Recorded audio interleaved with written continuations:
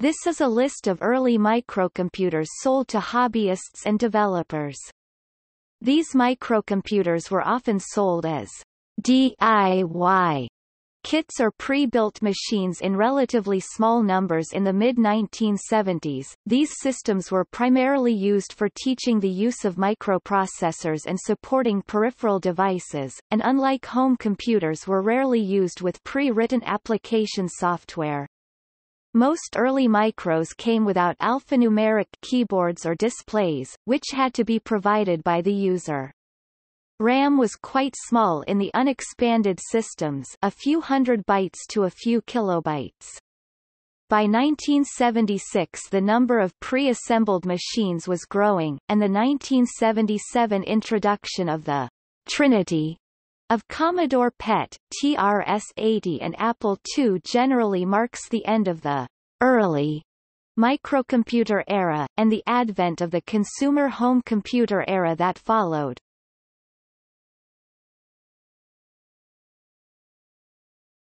Topic. Discrete logic Before the advent of microprocessors, it was possible to build small computers using small-scale integrated circuits ICs, where each IC contained only a few logic gates or flip-flops. The KENBAK-1 1971 used small-scale integration transistor-transistor logic TTL ICs and had 256 bytes of memory. It was priced at 750 United States dollars and sold only 40 units. DataPoint 2200 shipped 1971 was the first machine designed to use a microprocessor, but when Intel could not deliver the 8008 in time, they released the machine using discrete logic. The EDUC-8 1975 was an Electronics Australia magazine project describing a computer built from TTL ICs.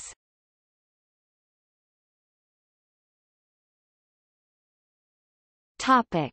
Test and development machines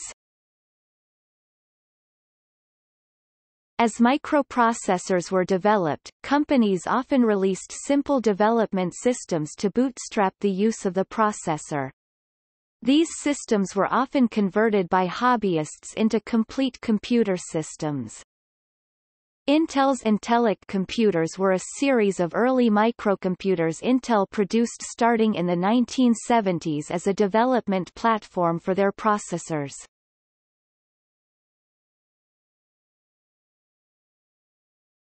Topic: Kits. For some time the microcomputer world was dominated by systems delivered in kit form. As most machines of the era were sold in small numbers, there was no reason to invest in automated manufacturing systems, leaving the final assembly to manual labor.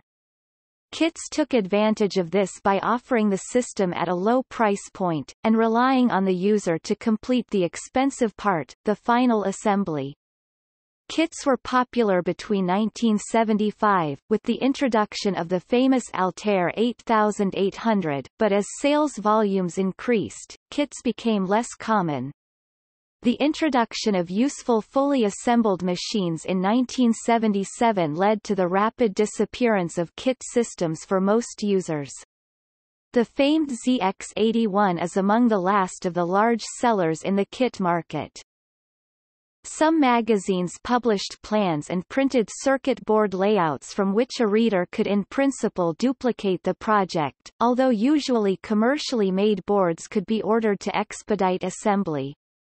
Other kits varied from etched, drilled, printed circuit boards and a parts list to packages containing cases, power supplies, and all interconnections.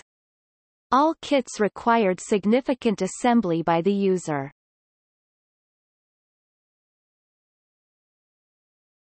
Topic. Complete microcomputers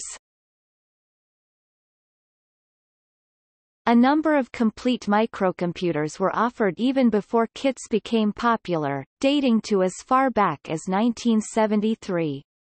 For some time there was a major market for assembled versions of the Altair 8800, a market that grew significantly through the late 1970s and into the early 1980s.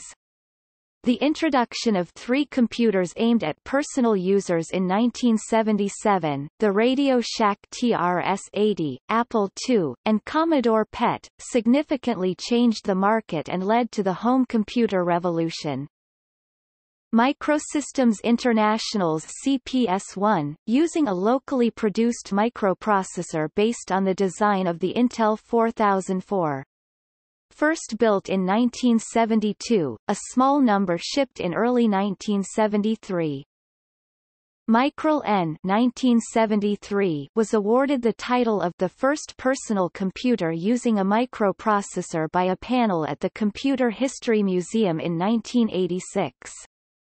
The museum website does not have any material on the CPS-1. Sord Computer Corporation's SMP-80-08, based on the Intel 8008, debuted in early 1973. It was followed by the SMP-80X, debuted in May 1974, which used the Intel 8080. MCM-70 was a 1974 Intel 8008 design, primarily designed to run APL. According to the IEEE Annals of Computer History, the MCM-70 is the earliest commercial, non-kit personal computer. IBM 5100 was possibly the first portable microcomputer. Most people think the famous IBM PC the 5150 was IBM's first micro but there were a number of microcomputer models released by IBM from 1975. Processor Technologies SOL-20, offered both as kit and assembled, but the vast majority were sold assembled, ECD Micromind, introduced 1977 MOS technology 6512 6502 with external clock. Prototypes only. MPT8080 Microtutor, an Intel 8080-based microprocessor trainer introduced 1977. As recently as 2008, it remained in academic use. As of 2011, the MPT8080 was still available for sale.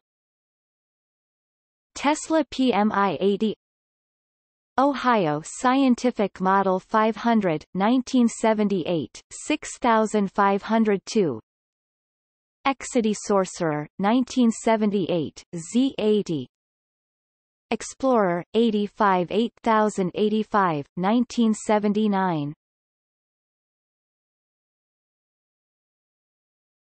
Topic. See also. List of home computers. List of home computers by video hardware. Microprocessor Development Board. Microcomputer Associates, Incorporated